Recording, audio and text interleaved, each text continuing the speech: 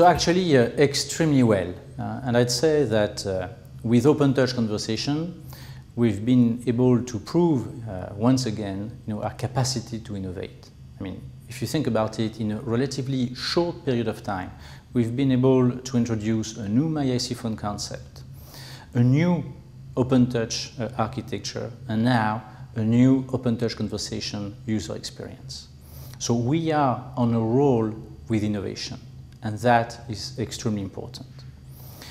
So now, as you all know, I mean, we have announced OpenTouch Conversation back at the Enterprise Connect show, and I can tell you there the feedback has been uh, fantastic. I mean, we've been harassed with customers, partners, analysts. Uh, and when I say harassed, I mean it in a good way. I mean, people have been really excited by what we had to say. More recently, uh, by the way, you probably also uh, all know that we've been selected uh, or nominated as a finalist for the Interop 2012 Best of Show for the collaboration uh, category. And even though it is probably uh, you know, a challenge to be awarded twice in a row, you know, after the data award we got last year. I mean, let's keep our fingers crossed.